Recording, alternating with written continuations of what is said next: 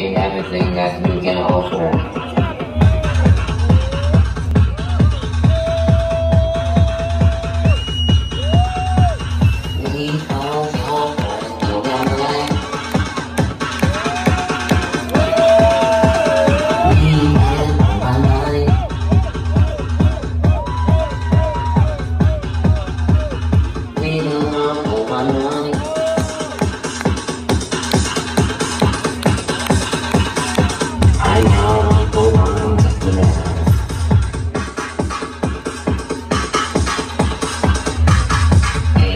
Wake up in the morning.